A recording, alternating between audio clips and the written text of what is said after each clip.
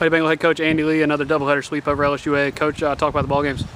Hey, two good wins. Uh, that was a good ball club. They fought hard. They played hard. Uh, you know, close games. Um, I really thought we, you know, we pitched well. We threw strikes. We attacked the strike zone.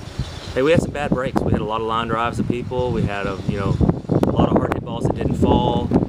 But you know, we kept battling, and when they took lead, we kept battling back. And you know, I was proud of the girls. Yeah, talk about uh, hits when you needed. That's really what uh, came through for you.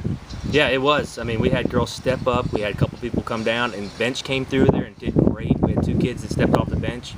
You know, hit a home run. Another girl um, hit a hard sac fly. Uh, you know, just really, you know, it's really a team effort, and that's what you like to see as a coach. A couple days off for you guys before you hit the road on Monday and Tuesday. Uh, talk about BRCC and then uh, Pearl River. Uh, two good ball clubs. Both got winning records. Both compete. Uh, both well coached. So you know, little, we're just trying to finish the season out and play hard and stay healthy. And you know, we we just take every game as you know, day one. That's a game today. Uh, we're not trying to think ahead, and you know, we're just excited about playing. Lady Bengals 46 and 4 now in the year after the doubleheader sweep at LSU. Thanks, coach. Thank you.